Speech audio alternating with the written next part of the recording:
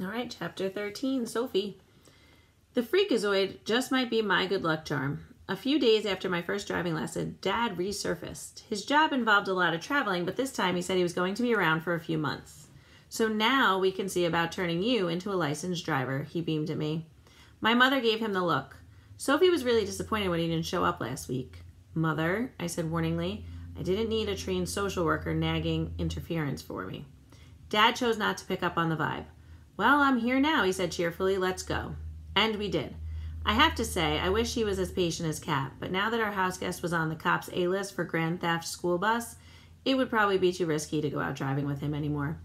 Cap was doing his Tai Chi under the weeping willow when I maneuvered Dad's sob into the driveway.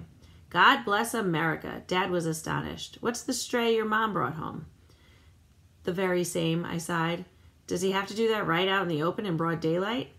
He used to stick closer to home, I admitted. I persuaded him not to. Three buckets of water did the trick. One thing about Cap, it did take a brick building to fall on him. Dad laughed. You're a saint to put up with it, Soph. This is cruel and unusual. We agreed on that, especially the part about be- me being a saint. That was another advantage of having Dad around. Mom was so nice, so kind, so understanding that she made the rest of us seem like insensitive jerks. But Dad took one look at Cap Anderson and instantly understood my side of the story. Moments like this really made me miss him when he was away, which was most of the time. Dad waved to our house guest as he walked into the door. Nice moves, kid. I used to do a little kendo in my younger days. He could make conversation with a brick wall, part of his salesman DNA. Cap looked disapproving. That's with swords, isn't it? Rain could never teach me anything that used weapons. Dad nodded in agreement. We trained with padded sticks so no one got hurt, pretty purely ceremonial. It was all about the pressure points and energy flow. I'll show you one of those days.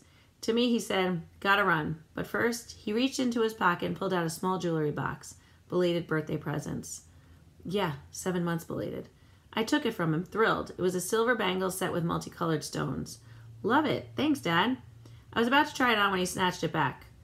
Not so fast. I just want to make sure you like it before I have it engraved. Engraved. Cap stared at the bracelet, hypnotized. That, he said in a hushed voice, is the most beautiful thing I have ever seen. Leave it to him. The kid grew up surrounded by wooden planks and fertilizer. The shiniest object in his life was probably an old pitchfork. No wonder he took a few rhinestones for crown jewels. Dad tried to make it into a joke. I just guess you don't get out much. I didn't get out at all until I came here. We never left Garland except to lay supplies. Dad looked profoundly interested. I forgot, you're from Garland. Sophie's mom grew up there. What's it like these days? There followed a description of this year's turnip crop that would have put a, a Tasmanian devil to sleep. Dad was classy. He looked totally flat, fascinated by the whole thing. But every now and then he would shoot me a smirk that had me thinking sad thoughts just to keep from cracking up. Oh, it was great to have Dad back again.